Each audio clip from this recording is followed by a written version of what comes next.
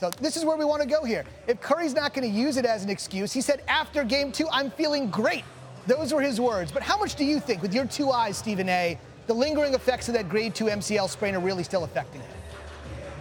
Well, I definitely think it's having an effect on him. Steph Curry is somebody I consider to be the greatest shooter that I've ever seen. Don't tell me that he's 100% healthy when he's shooting 15% from three point range. That's just unheard of. Two for 13, yes, but that's not how Steph Curry shoots. He could do that with his eyes closed, so I don't believe for one second that he's 100%. But nevertheless, that's not an excuse. You have to applaud him for not using it as an excuse. And at the end of the day, he's going to have to provide some help.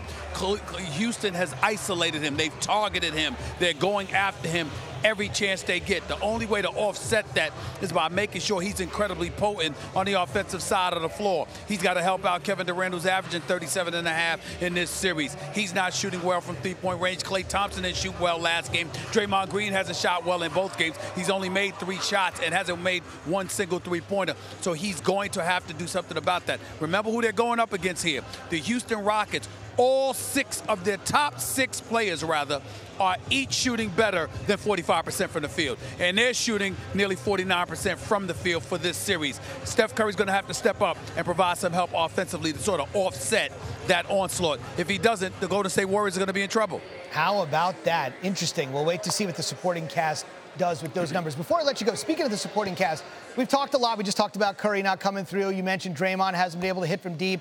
Klay hasn't had a great series. The bench is struggling. But it's actually taking away attention, Stephen A., from the one guy who has been awesome for the Warriors. Kevin Durant, 37 in game one, 38 in game two. What do you make of what you're seeing from him right now, putting this team on his back?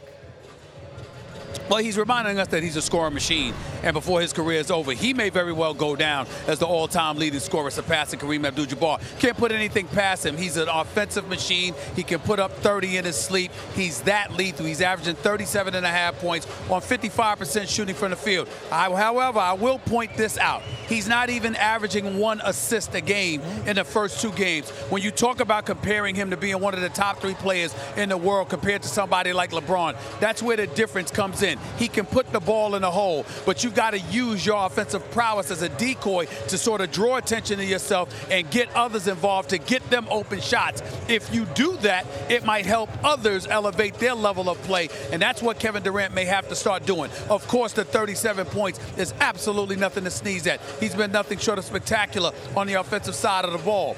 But you've got to register some assists, get some other guys involved. If you could get other guys open shot, that might be more important than you just dropping 37. That's a great nugget from Stephen A. Smith on the assist because when you've got teammates that talented, you've obviously got to get them involved. We'll see Stephen A. after the game on SportsCenter at night with Van Pelt and the crew with complete reaction to game number three.